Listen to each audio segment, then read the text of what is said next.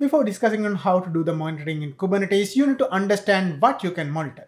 You can monitor node level matrices such as number of nodes, how many of them are healthy, and the performance matrices such as CPU, memory, network, and disk utilization. Pod level matrices such as number of pods, performance matrices of each pod like CPU and memory.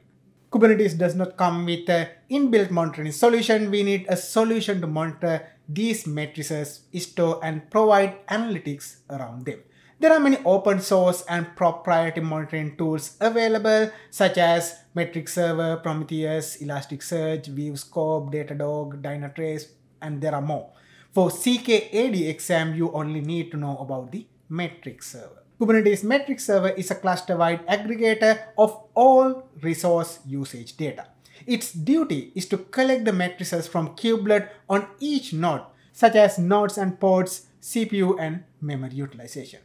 All these matrices are available in Kubernetes through the Metrics API.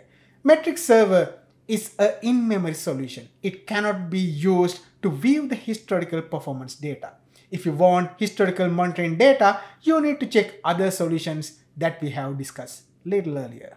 Installation of the metric server is easy. You can go into the metric server's GitHub repository and follow the instructions there. Here you need to execute this kubectl apply command which set up and configure everything required to set up the metric server in your Kubernetes cluster.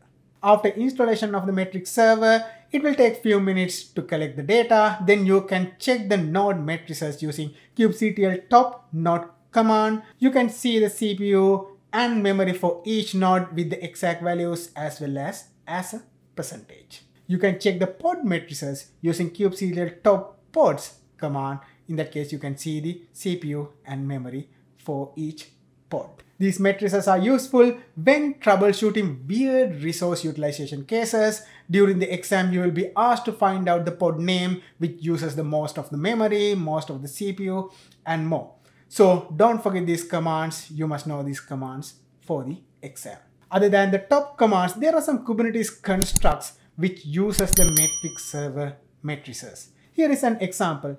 If you look at this diagram, when you have deployments, replication controllers or stateful sets, we usually has a fixed number of replicas in it.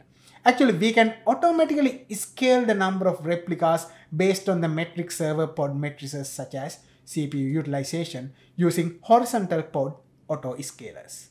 Horizontal pod auto scaler can be created for a deployment with this command kubectl auto scale deployment and the deployment name. Then you can define how many minimum replicas you want, how many maximum replicas you want using minus minus min and minus minus max uh, configuration parameters. After that, you can define when you want to add a replica or remove a replica from this auto scaling group using the minus minus CPU percent flag. In this case, if the CPU percentage is above 80% of these pods, it will keep adding the pods and then if it is less than that it will remove the pods and the number of replicas will vary from minimum of 5 replicas and up to the maximum of 10 replicas.